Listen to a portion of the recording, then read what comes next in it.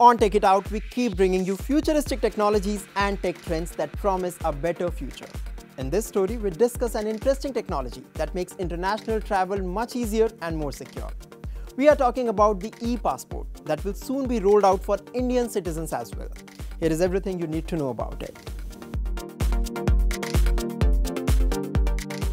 As you can figure out from the name itself, e-passports are electronic passports. In other words, they come with a small electronic chip inside.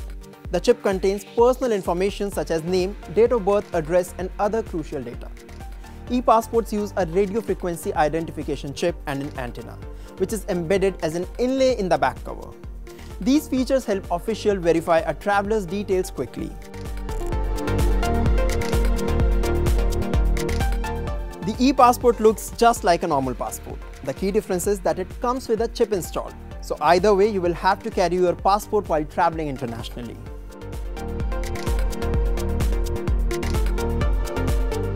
In 2008, the Ministry of External Affairs in India conducted the first phase of issuing e-passports to officials and bureaucrats in the country.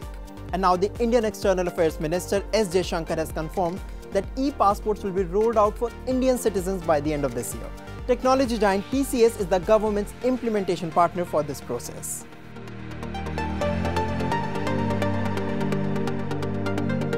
E-passports can enhance security and reduce duplication.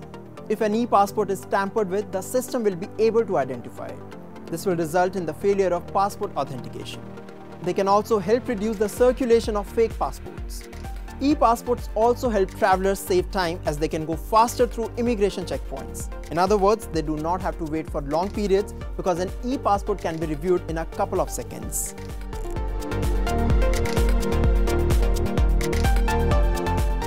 Existing Indian passports will remain valid as they are.